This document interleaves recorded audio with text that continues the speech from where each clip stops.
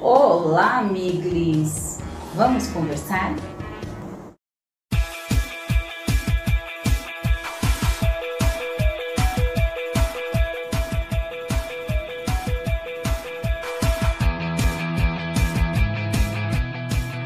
Miglis, você consegue!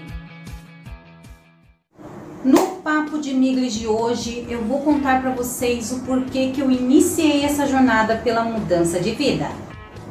Primeiramente porque eu estou com mais de 40 anos. Ai, por que, que mulher não gosta de falar a idade, né?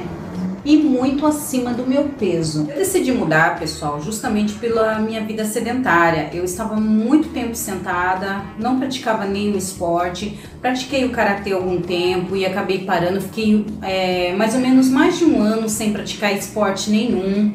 O karatê, pelo menos, eu tinha alguma atividade e acabei não fazendo mais. E do ano passado para esse ano, eu fiquei tentada a me submeter à cirurgia bariátrica porém desisti esse ano justamente por ser uma cirurgia e é uma cirurgia de grande porte, não é nada fácil a recuperação e tirei essa ideia da cabeça bem rápido. Comecei a, a caminhar, fazer caminhadas com uma amiga e comecei a mudar, fazer mudanças alimentares. Por exemplo, comecei a beber mais água.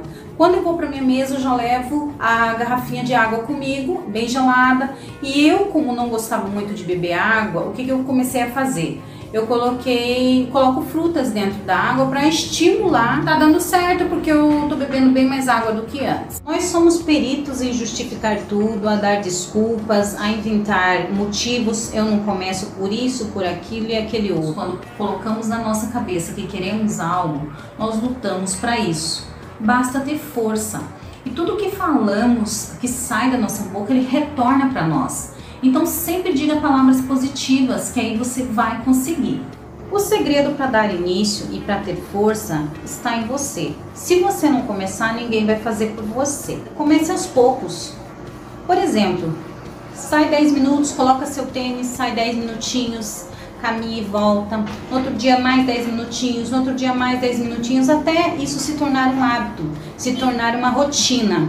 Essa é uma das rotinas que vale muito a pena. Quando você não, não, não for, o teu corpo vai sentir falta. Você vai aumentando gradativamente o tempo que você vai ficando. Eu comecei assim, eu comecei caminhando um pouquinho, ia até um pedaço, voltava. Hoje eu já estou correndo, mais ou menos um mês e meio que eu estou fazendo atividades físicas. Tudo na vida para dar certo necessita disciplina. Se não tiver disciplina, pessoal, há uma grande chance de não dar certo. Então, desde o começo, coloque na sua cabeça: eu vou conseguir, mas para isso eu preciso pagar o preço. E qual é o preço? A disciplina. Outra coisa muito importante, organize o seu dia. Reserve um tempinho para você.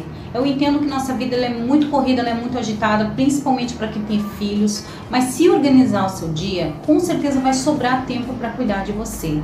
E pelo menos uma vez por semana, vai até o salão, fique linda.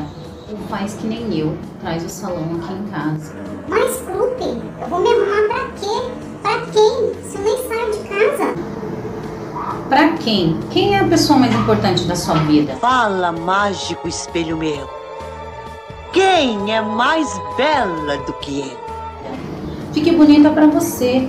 Fique bonita, se ache linda para você se olhar no espelho e se autoelogiar.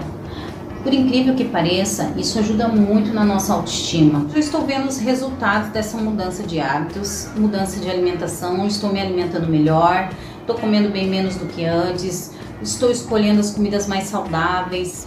Eu confesso para vocês que eu não vou virar escrava da balança. Eu quero alcançar o meu objetivo com muita calma, muita cautela.